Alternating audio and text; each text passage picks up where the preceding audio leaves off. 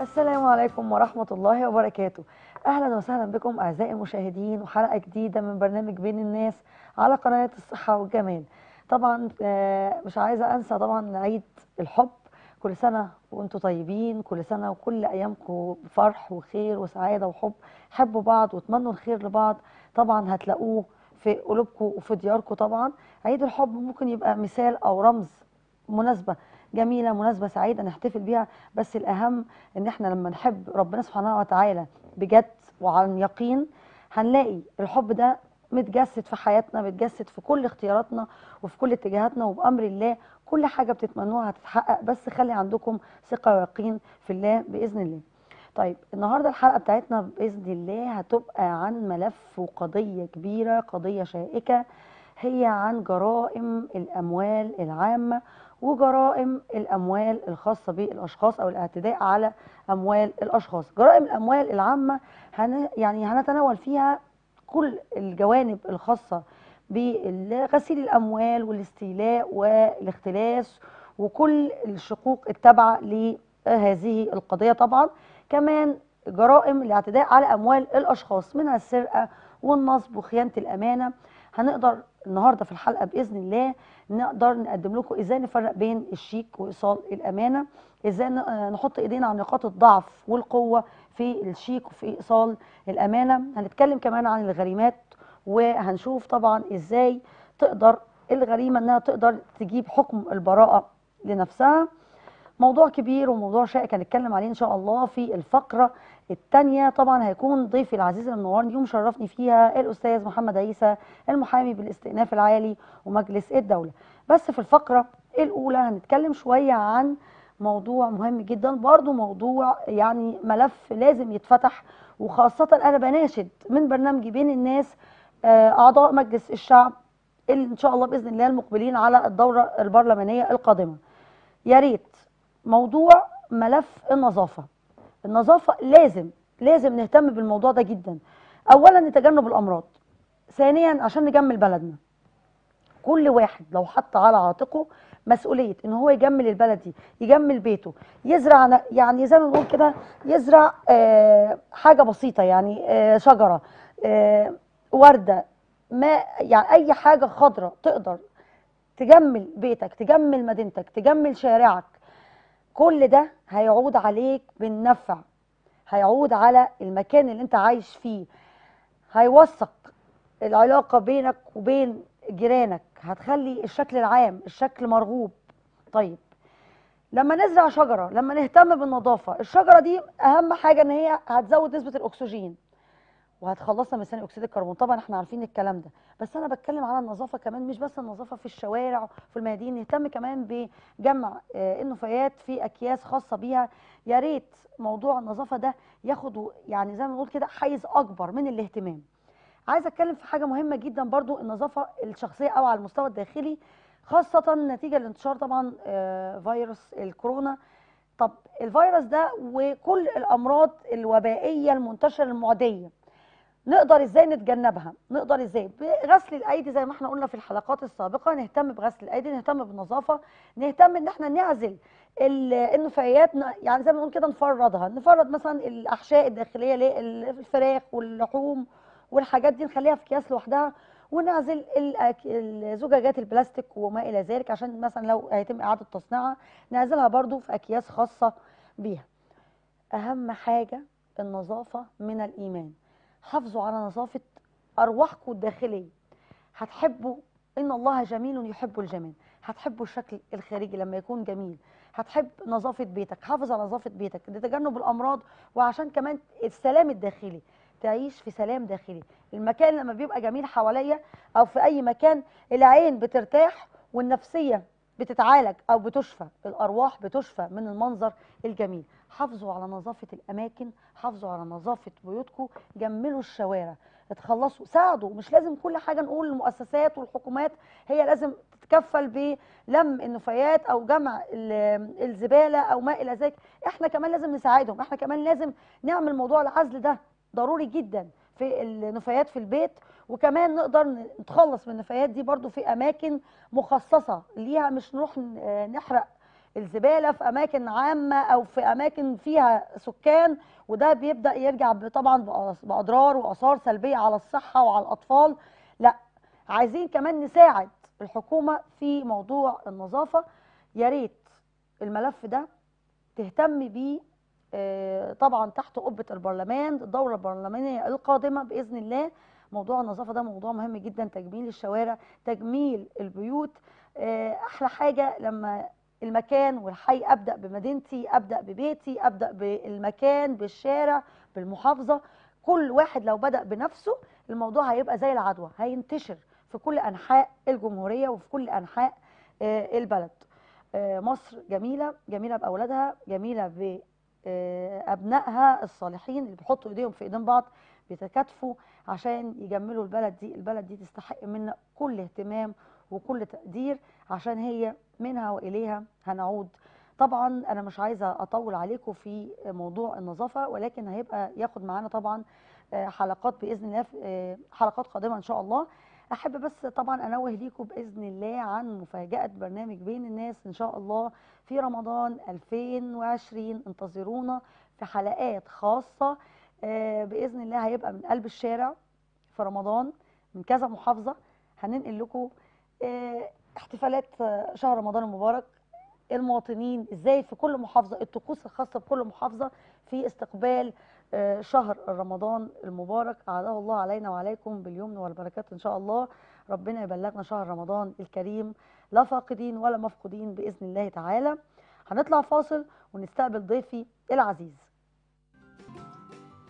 ورجعنا لكم بعد الفاصل. أعزائنا المشاهدين وإن شاء الله نستكمل حلقتنا اليوم. حلقة مهمة جدا ملف كبير وقضية كبيرة طبعا.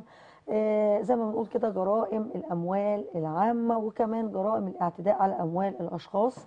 هنتناول كل الجوانب الخاصة بالموضوع النهارده بإذن الله مع ضيفي العزيز اللي منورني ومشرفني في كل حلقة الأستاذ محمد عيسى المحامي بالاستئناف العالي ومجلس الدولة. مرحب بيك يا فندم. أهلا وسهلا بحضرتك اتشرفنا بحضرتك. تعودنا دايما على يعني إطلالة حضرتك المشرقة والمعلومات القانونية اللي بتمتعنا. بيها. ربنا يبارك في حضرتك وأنا لي عظيم الشرف بالتواجد مع حضرتك ويا رب إن إحنا نكون عند حسن ظن حضرتك وظن السادة المشاهدين والحلقة تنال أعجابكم جميعا. إن شاء الله بإذن الله حلقة قوية جدا إن شاء الله وقضيه كبيرة موضوع جرائم الأموال العامة. عايزين بس في الأول كده نعرف تعريف إيه هي جرائم الأموال العامة؟ أنا بس قبل أي شيء. آه، لأن جرائم الأموال العامة دي دائما آه، وإنها تنظر أمام محاكم الجنايات. وبالنسبة في رسالة كان سيدنا عمر بن الخطاب رضي الله عنه وأرضاه أرسلها إلى ابا اليزيد إلى أبا موسى الأشعري. كانت تتضمن الرسالة أن القضاء فريضة محكمة وسنة متبعة والبينة على من ادعى واليمين على من أنكر م. والصلح جائز بين المسلمين إلا صلحا أحل حراما وحلل وحرم حلالا. ولا يمنعك قضاء قضيته بالأمس ثم رجعت نفسك فيه وهديت إلى رشدك أن ترجع عنه فإن الحق قديم لا يبطله شيء والرجوع إليه خير من التمادي على الباطل بالنسبة لجرائم الأموال العامة طبعا دي متعلقة وبتنظر أمام محكمة الجنايات ومحكمة النقض أعطت السلطة التقديرية إلى القاضي الجنائي وأرست مبادئ فريدة. هذه المبادئ كان منها أن ملاك الأمر في فهم صورة الواقع وتحصيل تصورها معقودا لمحكمة الموضوع. تتحصله مما يطمئن لها ضميرها ويرتاح إليها وجدانها. فلا سلطان لأحد عليها ولا جناح ما دام له أصل ثابت وصحيح في أوراق الدعوة لأنها تستمد عقيدتها من كل ورقة في الأوراق المطروحة عليها. وجاءت نص المادة 302 من قانون العقوبات وأعطت الحرية الكاملة للقاضي الجنائي. أنا ببدأ كلامي بهذا الحديث حتى يتبين إلى المشاهد ولا يختلط عليه الأمر بأن هناك قضايا يقضى فيها بالبراءة وقضايا أخرى يصدر بها. فيها حكم. يعني الأمر إن إحنا ما نخلطش على المشاهد لما نيجي نتكلم في جرائم الأموال العامة هناك القانون العقوبات المصري تحدث عن هناك جرائم على الأشخاص الاعتداء. على النفس وهناك جرائم متعلقة بالأموال. تمام. جرائم النفس المتعارف عليها جرائم القتل والشروع في القتل والسرقة بالإكراه وضرب أفضى إلى موت والقتل النفس. خطأ. آه بالظبط. تمام. جرائم الأموال. هن- انقسمت إلى قسمين. في جرائم الأموال العامة والجرائم التي يتم الاعتداء على الأموال الأشخاص العاديين. اللي هم الأشخاص الطبيعيين. يعني أموال عامة؟ اللي هي بت- أموال دولة؟ الدولة. منشآت وما إلى بالظبط. ذلك؟ التعريف القانوني الخاصة الثانية بال... بالمواطنين؟ بالمواطنين. ده وكل منها هو- له أرقامه وعقوبته مم. وحدد دور الفاعل في تمام. الجريمة ومن هو الفاعل. تمام. بالنسبة لجرائم الأموال العامة مم. هو كل اعتداء على منش أموال الدولة. وكل ما يخضع. إلى الجهاز المركزي للمحاسبات لرقابته. حتى النقابات. بالنسبة المهنية برضو بتخضع إلى ذلك. تمام. لما نيجي نتكلم المتهم في تلك الجريمة يجب أن يكون موظفا عام. لأنه هو من قام بالاختلاس هو من قام بالاستيلاء هو. من تلقى الرشوة. تمام. في فرق في الأفعال القانون اللي حددها الاختلاس.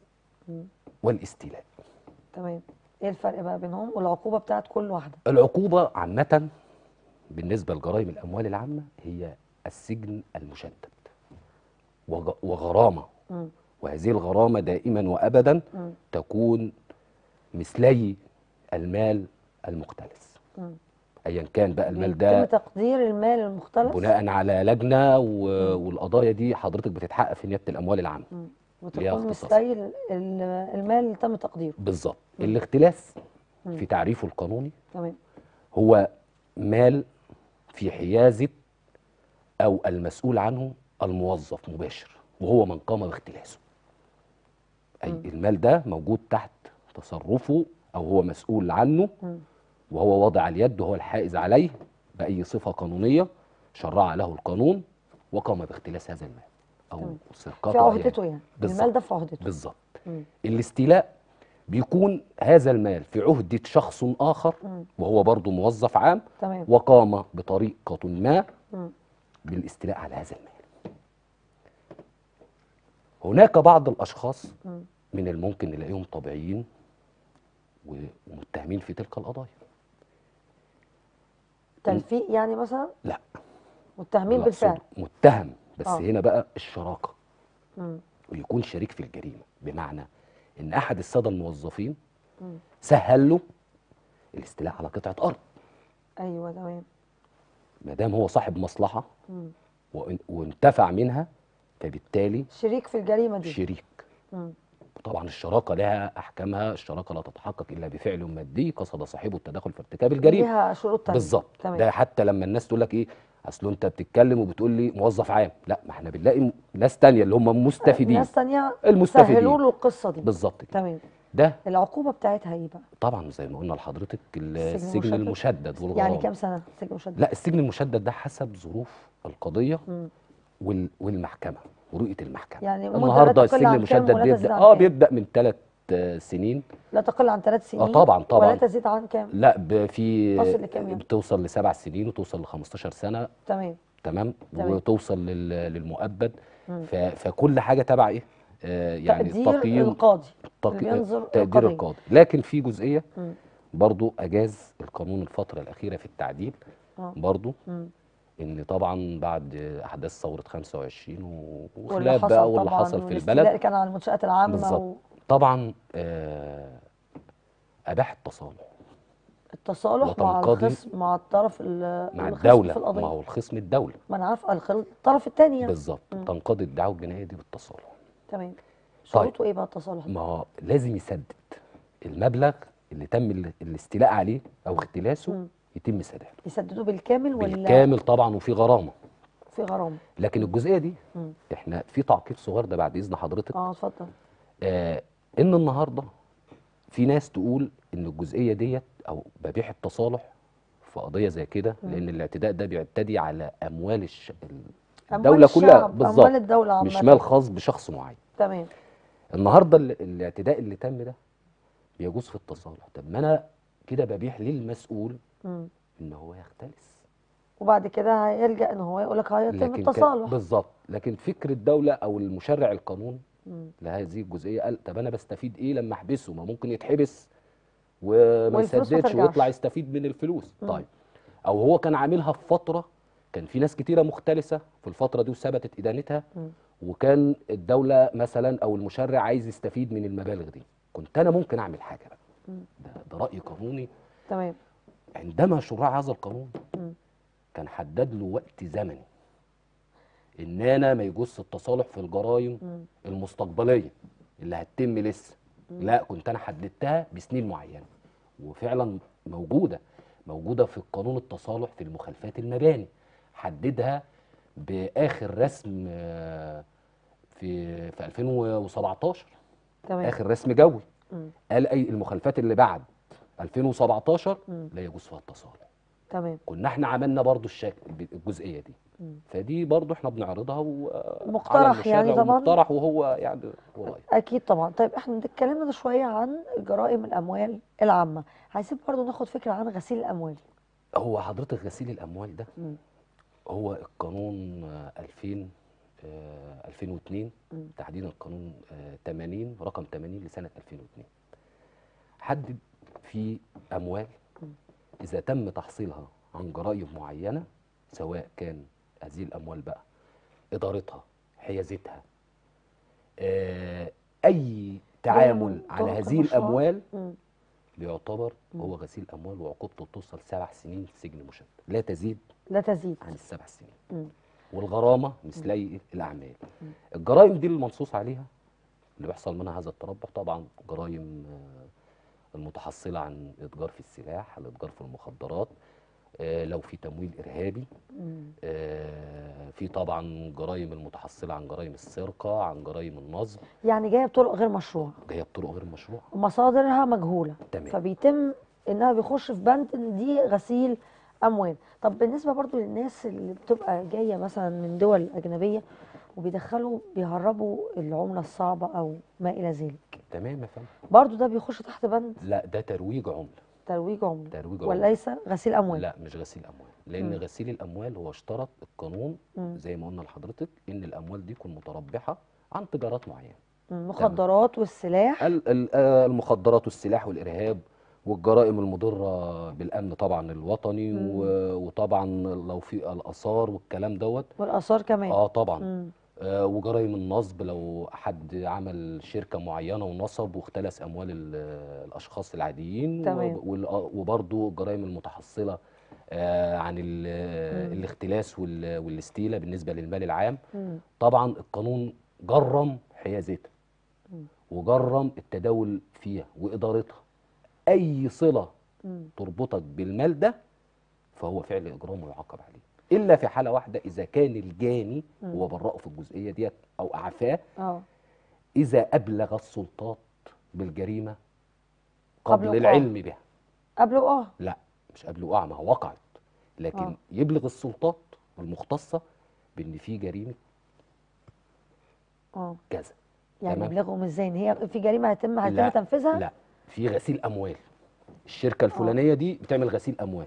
إنه مثلا عارف إن المصدر ده مش بالظبط. مش الشخص نظيف. ده آه آه، يعفى منها ده إذا كان في طرف ده هو طرف في القضية كمان. يعفى شاهد يعني. آه يعفى منها إذا هو اللي أبلغ السلطات هو اللي أرشدهم عن هذه الإيه؟ الجريمة. طب افرض حضرتك إن هو شريك في الجريمة دي ولكن هو عايز ياخد دور الشاهد فيها. ما هو حقه القانون اداله الحق ما دام السلطات ما عندهاش علم.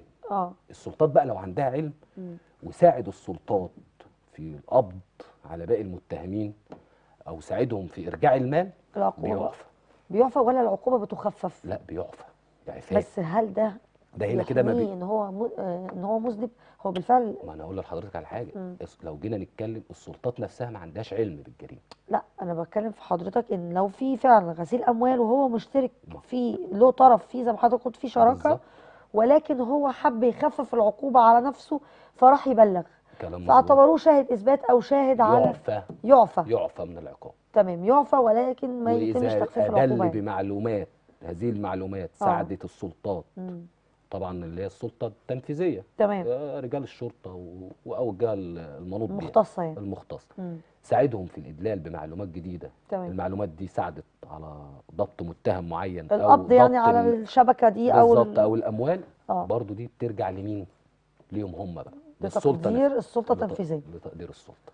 تمام. المختصه طيب آه، ده بالنسبة لغسيل الأموال. طبعا إحنا كده اتكلمنا شوية عن شق غسيل الأموال. لو اتكلمنا بعد كده عن ننتقل لشق الاعتداء على الأموال الأشخاص. سرقة زي ما حضرتك قلت خيانة أمانة نصب. الموضوع ده كبير. أنا برضو عايزين آه، المشاهد. يفهم جيدا. إن جرائم آه، الأموال الاعتداء على المال ده. آه، أنا عندي زي ما قلت حضرتك بينتي. في جرائم. المتعلقة بأموال الأشخاص. جريمة النصب جريمة السرقة طبعا السرقة دي في سرقة بالاكراه لو تخلف. عنه. آه، اعتداء بدني إيذاء بدني. لجسد المجني عليه ده كده بتخش اعتداء النفس أهو تمام. هي متعلقة السرقة هنا يعني زي شرف قتل كده لا اشراف في قتل حاجة؟ حاجة تانية؟ آه ده كده وصف تاني. لا أنا قصدي أقول هو فعلا اعتدى عليه من ناحية الجسد وحاول ما يقتله هو ما أنا هوضحها لحضرتك دي ونوضحها للسادة المشاهدين السرقه بالاكراه بس إحنا نتكلم في إيه؟ آه. أنا عندي الجرائم بتتمثل النصب. وطبعا السرقة وخيانة الأمانة. خيانة الأمانة دي اللي بيترتب عليها طبعا عندي قائمه المنقولات ايصال الامانه وطبعا الشيك البنكي بالظبط تمام طبعا اللي هو ليه القانون التجاري اللي بيحكمه. عايزين نقف بقى عند النقطة دي ونفرق بين إيصال الأمانة والشيك. وأيهم أقوى؟ وإيه نقاط الضعف هنا؟ وإيه نقاط الضعف هنا؟ وإيه نقاط القوة هنا؟ ونقاط القوة هنا. تمام. بالنسبة لايصال الامانة مم. آه، ايصال الامانة ده آه، بعد إلغاء الشيك الكتابي تمام آه، بقى يعتبر النهارده لما بندخل المحكمة بنلاقي محكمة الجنح هو جنح. آه، طبعا عقوبته الحبس مش السجن. آه، بال- الحبس مش السجن؟ آه في فرق. بين آه طبعا. السجن آه. ده للجنايات تمام. تمام؟ والحبس يعتبر سجن مشدد يعني كذا آه سنة. السجن والسجن المشدد الحبس؟ والمؤبد. آه. آه إنما الحبس ده يعتبر عقوبة مخففة. شهور يعني. ما هي بتبقى من 24 ساعة لسنه ثلاث سنين. آه تمام وفي ظروف مشددة بتوصل خمس سنين بس في حالات معينة حتى يعني إيه. إحنا خلينا إيه تمام. نتكلم إحنا بنعرف بس آه، العقوبة نعرف آه بحيث إن إحنا المشاهد برضه ما يخرجش معلومة مننا تمام عشان يبقى عنده معلومة إحنا لو هنتكلم في إيصال الأمانة مم. طبعا إحنا بندخل المحكمة دلوقتي بنلاقي 50% من رول الجنح ايصالات إيصالات أمان. لأنه خلاص بقى يعتبر هو العملة السند متداولة. آه، السند آه، للإيه؟ للمعاملات التجارية تمام. اللي موجودة. تمام. معلش الدائنين والمتعسرين آه، حد هيضمن حد في في دين معين بيمضي له على إيصال الأمانة. ممكن تلاقي إيصال الأمانة ده لمجلس عرفي ممكن نلاقي حد بي الغريمات. الغريمات المتعثره بتشتري ثلاجه بتشتري حاجة بتجهز طبعا. بتمضي على إيصال امانه آه. النهارده إحنا لازم نحمي الناس ديت يعني إيه؟ إيصال أمانة. أصل إيصال الأمانة ده ليه أرقام معينة؟ لازم. بي- أرقام بيخضع معينة؟ آه. أرقام جريمة معينة. آه آه. جريمة خيانة الأمانة أصلا. لا تتحقق إلا إذا ثبت أن الجاني تصرف في الشيء المسلم إليه كما لو كان مالكا له. تمام. مع تعمد ذلك التصرف. نشرح الكلام ده في إزاي؟ نية مبيتة ب- نشرح الكلام ده إزاي آه. حضرتك؟ إن أنا النهارده إيصال الأمانة ده بيتكون من ثلاث أطراف تمام أنا استلمت من حضرتك فلوس مم. لتوصيلها لشخص آخر قمت. بأخذ المبلغ ده وانتقلت يدي من الحيازة الناقصة إلى حيازة كاملة واتملكت المال ده. ده إيصال الأمانة تمام لو انتفى أو الإيصال ده كان ضمان لمعاملة تجارية مم. أو ضمان لمجلس عرفي. أو ضمان لأي شيء. وانتفى ركن التسليم إن حضرتك إن أنا ما استلمتش من حضرتك المبلغ ده أو حضرتك ما سلمتنيش المبلغ ده وثبت الكلام ده قدام المحكمة براءة تمام والشق الجنائي كده انتفى. وده لو مبلغ مالي المبلغ المالي ده أو حاجة ممكن يرجع عليه بدعوه مدنيه حاجة تانية تمام تمام بيتبين الكلام ده للمحكمة إزاي. النهارده آه بشهادة الشهود. آه طبعا لو هطعن بالتزوير على أساس ان الصلب مم. غير التوقيع. تمام. ال- الزمن الوقت الزمني. اللي حرر الإيصال يعني. اللي حرر الإيصال تمام الصلب نفسه غير اللي مضى غير اللي مضى. تمام. في وقته اللاحق على. التوقيع. دي كلها حاجات بتتبين امام المحكمة. طب دي نقط بتضعف بنصح- في الإيصال؟ نعم؟ دي النقط دي بتضعف في الإيصال آه ده بتضعف الإيصال. مم. وطبعا أنا لما قلت الكلام الأولاني في بداية حديثي مع حضرتك عشان برضو مم. الناس تفهم تقول لك طب ما إحنا بنعمل الإيصالات كده وما بتاخدش براءة. إحنا بنعمل الإيصالات دي و- وبتاخد براءة مثلا تمام. ان إن القاضي الجنائي للسلطه التقديرية تمام ويحكم كيفما يشاء. أنا أنا الكلام ده قلته في بداية الحلقة حتى إن ما- يحصلش. آه، غلط وبعدين في اتجاهات آه، قضاه معينة لكن مم. القانون أوجب الكلام ده. تمام. ده بالنسبة لإيصال الأمانة. آه عندي إزاي أحفظ النهارده واحدة سي مثلا آه من الغريمات دول عايزة تمضي على بتجهز. بنتها عروسة. بتجهز. عشان تضمن حقك كامل ما تمضيش على الأبيض. يعني الواضح كده الفترة الأخيرة يجي إيه اللي هو الدائن يقول لها امضي على الإيصال أو ايا كان الشخص. كذا إيصال ويقول لها امضي بس على الأبيض. طبعا الأبيض دي كارثة في حد. ذاتها. ليه؟ لأن ممكن اللي يشكيها تمام شخص آخر ما تعرفش عنه أي حاجة. وكمان ممكن يحط مبلغ وهي ما تعرفش حاجة. غير المبلغ. يعني مم. النهارده انت سي اصل الدين 5000 جنيه 10000 جنيه ممكن يحط 500000 500000 صح. وأنا. القاضي جايب الورق اللي قدامه. طبعا. تمام؟ والقانون لا يحمي المغفلين. هو مش هو مش بالشكل ده لا لا القانون بيحفظ حقوق الناس جميعا. بس, بس في بند بيقول كده. أنا ما اقعش في الغلط. ولكن الطيبين. ما أنا هقول لحضرتك على حاجة هي مش ما فيش بند. بيقول كده خالص. ما فيش لا لا دايما كنا بنسمع كده في لا إحنا الأفلام بنسمع لكن وزمان لا القانون لا المغفلين. حضرتك مفيش الكلام بس ده إحنا عديناها وقلنا الطيبين لا القانون بيعطي كل ذو كل حق أكيد حق. طبعا بس قصدي أقول يعني لازم آه. الواحد يحفظ حقه عشان ما يديش الطرف الآخر بالظبط هو المفروض النهارده يبقى في عندي احتراز مم. تمام مم. إن أنا النهارده لما آجي أرتكب أو أعمل شيء لازم يكون برضه عندي الدرايه القانونية لو ما عنديش الدرايه القانونية أسأل حد بالظبط. بتاع قانون. تمام تمام؟ تمام. يحميني مش أكتر من كده يعني مش مجا... مش لازم بقى أنا أروح أمضي على على الأبيض عشان خاطر ما عايز اضحك عايز آخد قرشين. تمام؟ أمشي بيهم حالي. مزنوق مثلا في ضائقة مالية آه. نفسه في داهية. طب بالظبط طب لا إحنا بس عايزين نرجع لنقطة مهمة جدا الشروط اللي تتوفر في إيصال الأمانة تضعفه وشروط القوة. ما إحنا قلنا لحضرتك. لا بالنسبة لكام طرف في, في الايصال ثلاثة طيب ولنفرض سي إن الايصال الأمانة بين شخصين. الموقف حتم عليهم ان هما بين شخصين مش ثلاث أشخاص. بين شخصين. إحنا هنا آه. في حالتين. مم. لو قام من بحوزته الإيصال وأضاف الطرف الثالث في الإيصال ده بيعتبر تزوير؟ لا مش هيبقى تزوير لأن التوقيع صحيح. مم. لكن هيعتبر كده في انتفاء في ركن التسليم إن أنا ما كانش عند الطرف الثالث موجود تمام. وقت تحرير الإيصال. تمام. كده هندخل في النزاع المدني. طيب. دي دي حاجة. واركانه زي ما قلت لحضرتك لازم يبقى فيه ثلاث أطراف. طيب لو في طرف المسلم والم- والمسلم إليه والمستلم. تمام. دول لازم يكونوا موجودين في إيصال الامان. وقلنا إن هو برضو لما تيجي الغريمة دي الإيصال كله يت- يت- يتملي صلبا وتوقيعا. بحيث ان أنا برضو ابقى عارف أنا مضيت على إيه مم. الايصال فلان وفلان وفلان. متفقد بالمبلغ؟ متف- بكل حاجة بحيث تمام. يبقى فيه بس تقريبا يا فندم أنا سمعت برضو في إحدى الاستشارات القانونية برضو إن من شروط الواجبة لصحة إيصال الأمانة ما يتكتبش فيه تاريخ. ما هو أصلا ما بيكتبش في تاريخ لأنه بيعتبر لا في بعض الناس بت زي ما بنقول كده بتستغل طيبة لا هو ما هو الطبيعي ويكتب لا إيه؟ لا لا بيأرخوا لا ما فيش تا- تاريخ فيه. ده لو اتأرخ ده المفروض من الجاهزه يا فندم الايصالات الجاهزه بيبقى فيه كده في كعب في الجنب لا. مكتوب فيه التاريخ لا الكعب ده ما, بي... ما بيتقدمش لأن. النهارده هو من الجرائم الوقتية. بمعنى إيه أنا النهارده حضرتك أعطيتيني مبلغ اوصلها لفلان مم. الطبيعي إن أنا ما وصلتهاش النهارده ولا بكرة هت- هتلجأ بالظبط. بالأول بترجعي لي بماطل مع حضرتك بت- بتلجأ لي القضاء وبعد انتهاء فلو هو مؤرخ مثلا سي- خلصت لا ما ينفعش ما فيش حد والمدة يعمل لو عدت كمان. والمدة كمان لو عدت زي الشرط الجزائي كده المدة لو عدت بيبقى- يبقى كده بطلان الإيصال آه الامان بالظبط وبعدين بيبقى في دفع اسمه التراخي في الإبلاغ ما ينفعش التراخي في الإبلاغ في. الإبلاغ. يعني هو كده بيفرط في حقه بإيده هو جريمة وقتية فهو مم. هم يعني فاهمين طيب دي بالنسبة. للنقطة دي برضو قبل ما ننتقل منها ايصال الامانه اللي بيتوفر فيه ثلاث أشخاص وبيتوفر فيه شخصين مم.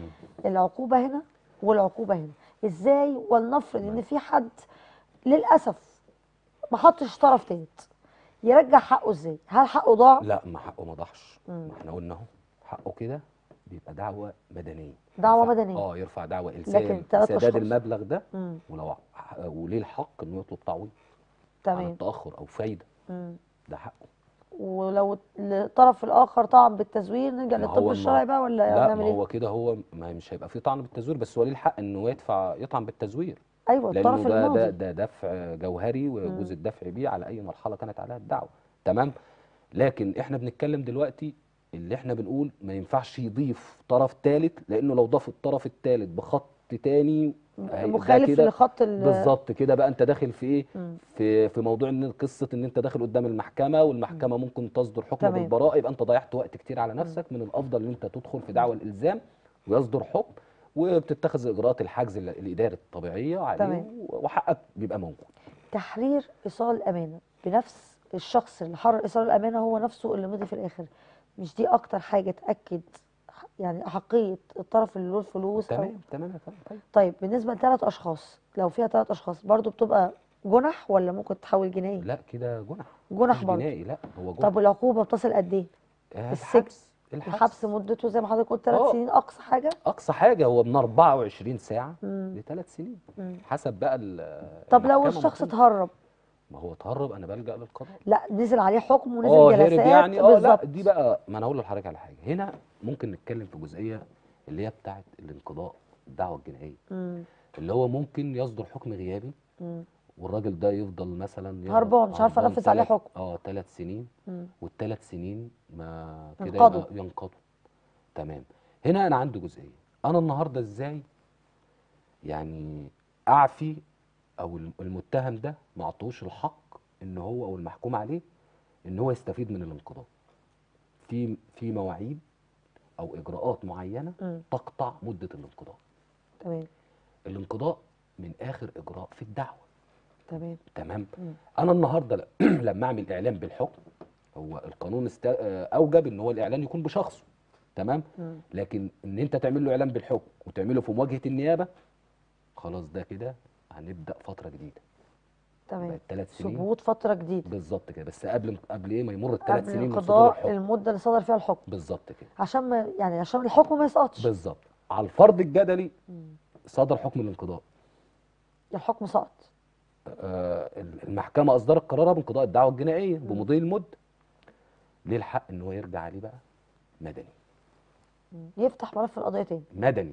مدني. يرفع دعوى إلزام بقى. مم. على بأمر جنائي وب- طب وليه ما يفتحش ما ينفعش يفتح ملف القضية بتنفيذ الحكم اللي كان صادر؟ ما إحنا قلنا أهو. ما إحنا قلنا أهو. لو في قدر يقطع الانقضاء بالإعلان لا كل قبل ما يمر. الثلاث سنين. انقضت الدعوة الجنائية خلاص. كده الشق الجنائي انتهى. ما عادش. ينفع ينفذ الحكم ده تاني. لا خلاص بقى. القضية. خلصت. قدام المحكمة. كده برجع بقى إيه. إلى المحكمة المدنية. أرفع دعوى إلزام. طيب تمام. آه، كده إحنا طبعا للساده المشاهدين وفينا موضوع إيصال الأمان. ننتقل بقى شوية للشيك. آه. الشيك وتحرير الشيك وطبعا أكيد حضرتك عارف شيكات بدون رصيد واللي بياخد قروض ما شاء الله من البنوك وما شاء الله يمضي على شيكات. وفي الآخر البنك يجي يتحقق من الموضوع يلاقي شيك بدون رصيد. هو قضايا الطرف الشيك الآخر يعني. هي قضايا الشيك يعني إحنا نقول أفضل من إيصالات الأمانة الشيكات آه طبعا مم. أفضل وأقوى بالنسبة للدائن تمام تمام أنا النهارده الشيك بي بي آه بيتكون من ثلاث أطراف برضو مم. الساحب والمسحوب عليه والمستفيد والمستفيد الساحب ده اللي هو صاحب الحساب في البنك اللي هو مم. حرر الشيك المستفيد الراجل اللي هو بيصرف مم. الفلوس مم. البنك اللي هو المسحوب عليه عشان تمام. الناس تبقى فاهمة طبعا الشيك ده البنكي آه، معروف لدى البنوك وتبقى ورقة معينة وفيها الكلام ده. آه، المشكلة اللي بتقابل الأشخاص إن إحنا مثلا ممكن تاخد الشيك وتروح تصرفه تمام؟ تلاقي الشيك ده جاي لك رفض من البنك الرفض ده بيتبنى على كذا حاجة. آه كذا حاجة طبعا. ممكن رفض آه الرصيد غير كافي ممكن الرفض لا يوجد رصيد ممكن الرفض لأن آه، متبلغ البنك من الساحب عدم صرف هذا الشيك. ممكن الساحب نفسه اللي, اللي هو محجوز عليه مح- محجوز على أمواله. لا دي لها واقعة تانية دي لها تانية؟ تانية آه. مم. ممكن يكون آه، محرر الشيك بطريقة ما اللي هو توقيع تاني. يمنع صرف هذا الشيك. ممكن يا فندم غير توقيعه المثبت في البنك؟ ما أنا بتكلم أهو. يتلاعب في النقطة دي. بالظبط. بيحرر الشيك؟ الشيك بطريقة بطريقة ما مخالفة آه لامضته في للتوقيع عش- البنك من أجل إن ال- الشيك ده ما يتصرفش يضلل يعني صاحب آه بالظبط. المنفعة. فبيلجأ للقضاء. تمام؟ يثبت حقه إزاي؟ بيثبت حقه بيرجع ب- بجنحة سواء كانت مباشرة أو غير مباشرة وطبقا للقانون حتى قانون التجاري نفسه نصص إن هي العقوبة الحبس. تمام. تمام؟ في حالات طبعا الجريمة بتقوم بمجرد إعطاء الشيك. بمعنى إن أنا النهاردة بمجرد إن أنا سي صرفت النهاردة كتبت الشيك وحررت الشيك النهاردة مم. بتاريخ اليوم مم. تمام والشيك ده هيتصرف في ميعاد سي شهر ثلاثة اللي جاي آخر ثلاثة بمجرد إن أنا حررت الشيك مم. لازم وأنا بحرر الشيك كساحب إن يكون عندي العلم وإرادتي معروفة إن أنا إيه عندي رصيد في البنك. ومن الممكن المستفيد استعلام الأول المستفيد مم. عندما تحصل على هذا الشيك يتوجه إلى البنك ويشوف إن كان عنده رصيد ولا لأ طب ما عندوش رصيد من حقه ياخد رفض في الوقت ده ويلجأ للقضاء قبل التاريخ أهو. قبل التاريخ. آه هنا بقى آه، الساحب من حقه بقى في المحكمة يقدم إيه. آه، ما يفيد إن هو يعرض الفلوس دي عليه في المحكمة ايا كان بالطريقة يعرض التصالح يعني. بالظبط وتصالحه طيب إيه إمتى يعفى. اللي هو الساحب. إذا كان فعلا زي ما حضرتك قلتي ما عندوش العلم إن الحساب ده آه، اتحجز. تمام؟ عليه قضايا عليه عليه مثلا لا في التزامات قانونية حجزه. لا ما أنا ما أنا جاي لحضرتك بقى. مم. إن النهارده إن في إش- آه، ما عندوش العلم إن ما فيش رصيد. بس نستشفها إزاي؟ هو في حد ما عندوش علم إنه ما عندوش رصيد في البنك ولا لأ؟ ما هو من الممكن إن الحساب يقف. من البنك وقف الحساب ولم بس يعلنه برضه لا بيعلنوا يا فندم. تمام. دي بقى بترجع سلطة تقديرية للمحكمة. مم. هو يقدر يقيم دي بقى بتبقى وسائل معينة مم. بس القانون نص عليها وإحنا بنعرضها. تمام. تمام. في شيكات معينة لابد أن تصرف في ميعادها. ما ينفعش إن أنا أتوجه بيها للبنك قبل الميعاد قبل التاريخ. لازم في الميعاد المثبت في الشيك. نوعين من الشيكين. مم. شيك الحكومة اللي هو بيبقى صادر من الدولة من الحكومة نفسها لأحد المقاولين لأحد ال- الأشخاص رواتب ايا كان لازم في ميعاده ما ينفعش تتوجه من قبلها في المعاشات ميعاد لأن الخدمة وما إلى بالظبط. كده. في شيك اسمه الشيك المسطر. الشيك المسطر؟ المسطر. مم. المسطر ده بيبقى عبارة إن أنت حررت الشيك وسطرت عليه خطين كده. ده ما يتصرفش إلا في تاريخه. ولا يجوز التوجه قبل ميعاد استحقاقه طب. وليه التسطيرة دي إيه إيه المغزى هو منها كده أنا أنا كده وجهت للبنك بالتسطيرة ديت إن آه. الشيك ده لا يجوز إيه التصرف فيه إلا في ميعاده لا يجوز صرفه إلا في تاريخه مم. طبعا دي بترجع للمعاملات التجارية وهو أصلا حتى خضع للقانون الت- التجاري مم. وأوجب فيها الحبس عشان كل المعاملات التجارية تبقى مضمونة تمام تمام وهو ده امن شيء بصراحة يعني مم. بس فطبعا لكن بالنسبة لايصال الأمانة طبعا ده بيبقى في ناس اللي بيدفع الفلوس ما يبقاش دافع فلوس في عامل حساب في البنك بتبقى الفلوس موجودة عنده بيصرف منها ثلاجه مش عارف الحاجات دي. بس لكن الشيك امن بكثير للدائن. آه كمعاملة تجارية. طب بالنسبة لل- للبنوك اللي طبعا بتجمد آه، أرصدة آه، خاصة الأشخاص اللي عليهم قضايا. الحجز إجراءات آه حجز. إجراءات الحجز دي دي تتصرف إزاي؟ طب ما هو مثلا ولنفرض إن هو عليه قضايا عايز فيها فلوس إزاي يقدر يرفع الحجز ده؟ ما يرفع الحجز ده بإجراءات قانونية. إجراءات قانونية. آه إجراءات قانونية قدام المحكمة لكن إن إحنا النهارده من الممكن مثلا انت إيه إجراءات الحجز؟ هو بيحجز عليه إزاي؟ على. المال. اللي هو بيبقى إنذار أو إعلان بحجز مال المدين لدى الغير. النهارده والقضايا بقى اللي بتبقى منسوب إليها بيبقى. صادر ضده أحكام بالإلزام. زي. النفقة مثلا؟ زي النفقة. حكم بالإلزام في متجمد معين. تمام؟ متجمد ده عامل 10000 يحجزوا جنيه. بقى على يجي أنا النهارده عارف إن ليه رصيد في المكان الفلاني في البنك الفلاني. ومش رصيده بس ممكن كمان المرتب لو هو بيستلم المرتب عن طريق البنك. لا أصل ال- المرتب ده حاجة تانية. ما أنا قصدي النفقة بيتم لا حجزها النفقة دي ما هو إحنا قلنا حضرتك. لو ما دفعش. لا بمجرد إن أنت بتقدم الصيغة التنفيذية مم. للشؤون القانونية. امتنع في حالة إن هو يمتنع عن تنفيذ. مش هيمتنع. ما هو ما دام النهارده عنده. آه، وظيفة حكومية مفردات مرتب وسواء كانت حكومية أو غيره النهارده بتوجه للشؤون القانونية وبقدم مم. ليهم الصيغة التنفيذية بعد الإعلان بالنسبة وهم لمتجمد بيحجزوا بقى.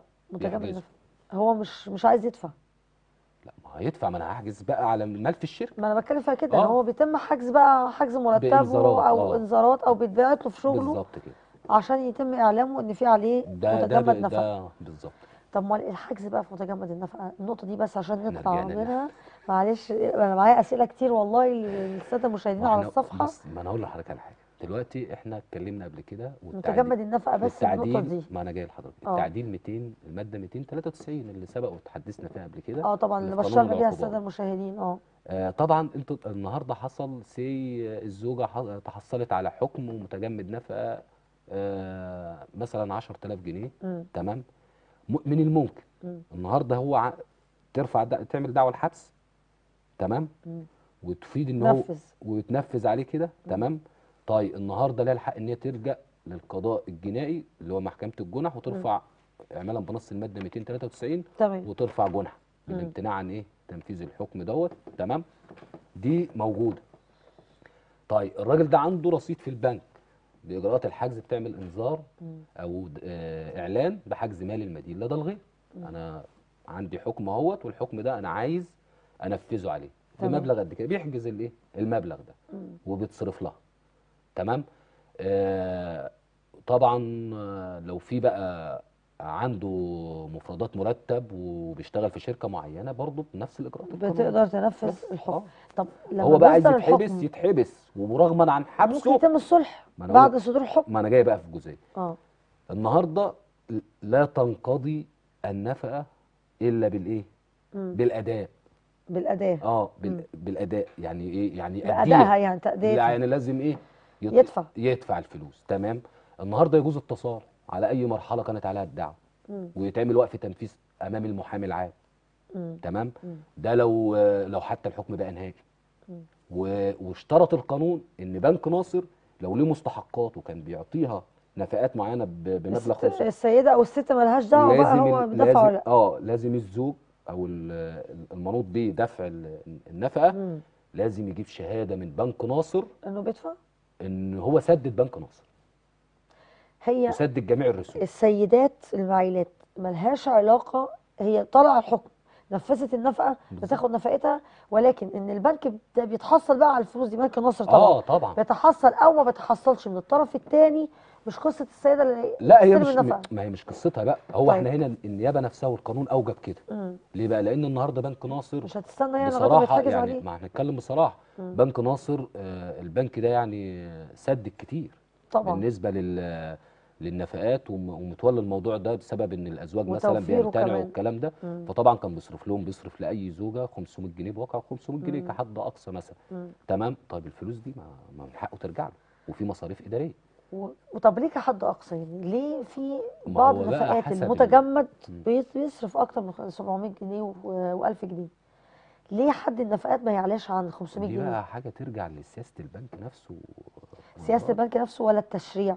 لا التشريع ما ألزمش يدفع بكام؟ ما ألزمش. ما ألزمش يدفع كام؟ لكن دي سياسة وعلى فكرة البنك. هو أصلا البنك ما كانش فيه نص قانوني كانت هي معمولة ككفالة. مم. والبنك هو اللي كان متولي الموضوع ده بأمانة يعني بدون مم. أي نص قانوني. مم. تمام وهو كان بيرجع من خلال بقى آه، الشؤون القانونية عنده كان بيرجع على الإيه؟ تمام. على على طيب. الأزواج. تمام. عايزين بس النقطة ال- الأخيرة الغريمات. النقطة دي مهمة جدا في كتير من الغريمات طبعا. على 1000 و2000 و3000 حاجات بسيطة جدا بتخش السجن وبتتحبس الغريمة إزاي تقدر تجيب براءة لنفسها ده بالنسبة في إيصال حسب- أمانة. حسب السند إيصال الأمانة آه ما طبعا إحنا قلنا أكيد يعني مش هيبقى هي. المفروض لما تيجي تمضي على إيصال الأمانة مم. طبعا لازم في إيجاز لازم طبعاً. تامن تأمن مم. نفسها مم. تأمن إزاي ما إحنا قلنا لحضرتك في بداية الحلقة إن النهارده إيصال الأمانة ده هي لما تيجي تمضي عليه يكون مكتوب بالكامل تمام. وعارفة المبلغ اللي بتمضي عليه. تمام. تمام؟ مم. وتبقى عارفة هي استلمت الفلوس من شخص مين لتوصيلها لشخص مين. مم. تمام؟ وبناء على ذلك بيبقى موقفها أفضل. لكن تمضي على بياض دي بنلاقي مثلا بلاش يا جماعة موضوع الامضاء على البياض ده ده بصراحة ما ينفعش. طبعا في النهاية أنا بشكر حضرتك طبعا تشريفك ليا في في الحلقة. وإن شاء الله حلقات مقبلة بإذن الله وقضايا شائكة أكتر وأكتر وتساؤلات قانونية أكتر وأكتر.